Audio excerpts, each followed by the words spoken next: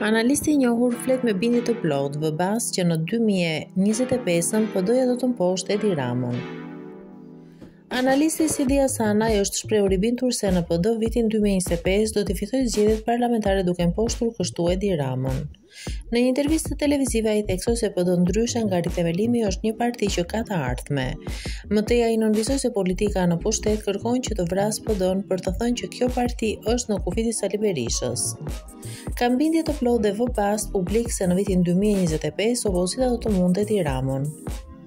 Që nga 15 maj që dolën rezultatet dhe deri më tani është tentuar që të bëhet një shpëlarje truri, një manipulim tjetër demokratëve duke i vrarë identitetin politik. Duan të vrasin PD-në për të thënë që PD është thjesht në kufijtë e Sali Berishës.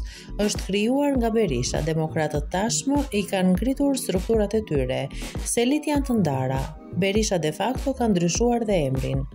Duan që PD-ja ta minimizojnë në fakt ato 103.000 vota që mori PD, që ishin minimumi i mundshëm që mund të merrte. PD është pa të kaluar, por me të ardhme, ndërsa rithemelimi është me të kaluar, por me të.